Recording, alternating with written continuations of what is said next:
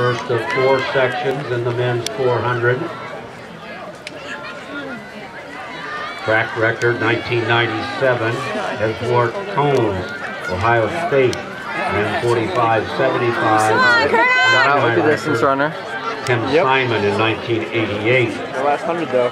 ran It's gonna 44.88. Come on, David. Here he comes. Come on. Here he comes.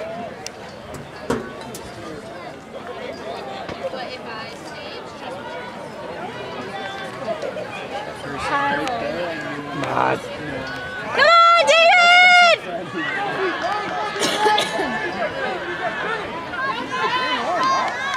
This is David Cernock of Illinois State taking his first section.